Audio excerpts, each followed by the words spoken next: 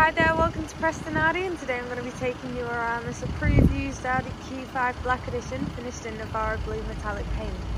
This car comes with the extended LED interior lighting package, the comfort and sound package, S-Line exterior package, black styling package and roof rails on top of the car. As we move towards the car you can see that it's fitted with the LED headlights with the daytime running lights and dynamic rear indicators. Down towards the wheels, these are the 20 inch alloy wheels in the 5 arm rotor design. On the front wing of the car you can see that it has the S-Line badging. And as we move on to the seats, these are the heated front sport seats finished in the half leather, half suede with the four-way electronic lumbar support and the S embossment on them. This car also comes with a panoramic glass sunroof.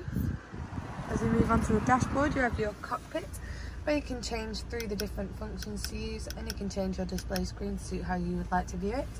You also have your MMI infotainment system screen where you can use your Audi smartphone interface, navigation system, Bluetooth interface, MMI Radio Plus and Audi Connect.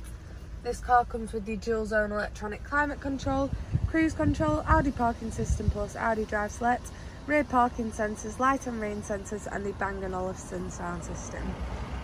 As we move towards the back of this vehicle, you can see that the rear windows are fitted with the privacy glass. And as we go into the boot,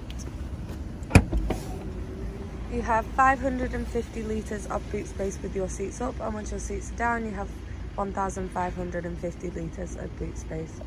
You also have your touch button to automatically close your boot for you.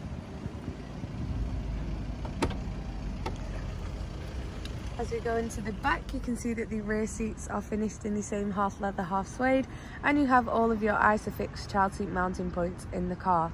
So for more information on this car, please give us a call on 01772 730000. Thank you for watching.